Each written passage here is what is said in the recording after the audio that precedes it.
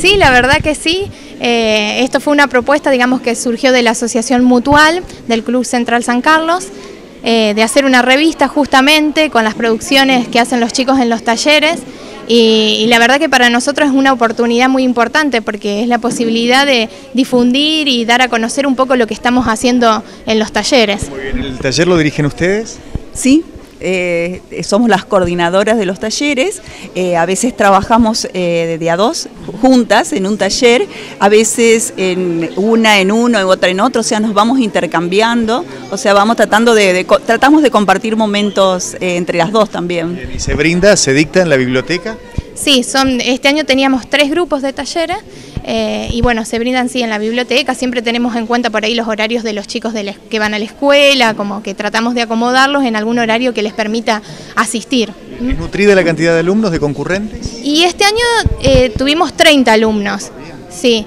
Eh, la verdad que sí estamos muy contentos, además porque la, mayor cantidad de los alumnos siguieron asistiendo, de los integrantes no son alumnos, siguieron asistiendo a lo largo del año, así que estamos muy contentas.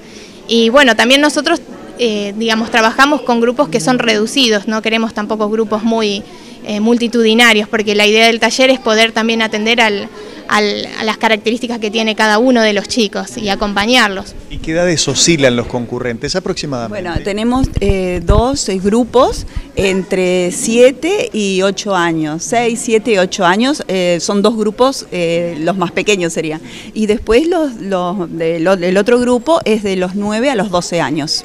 O sea que hay y diversas edades. Sí. ¿Tiene algún nombre el taller en particular? Viaje a la Imaginación se llama. Eh, es, el, es, el, mismo nombre que lleva la revista, Viaje a la Imaginación. Qué linda caricia, ¿no? Digamos, eh, este, para que este material, más allá de lo valioso que soy, se redimensione en muchos años cuando los chicos vengan grandes y digan, bueno, acá está el trabajo mío que hice cuando tenía siete.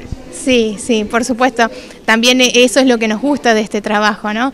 Como yo les decía hoy a los chicos, bueno, hay cosas que nos guardamos nosotros, ¿no? En nuestros recuerdos y que van a quedar esas sonrisas, eh, los juegos que vivimos, pero hay otras cosas que también eh, podemos plasmar a través de la escritura y bueno, una revista es esa, nos brinda esa posibilidad de mostrar y difundir eh, lo que hicimos. ¿Cuántos ejemplares han impreso?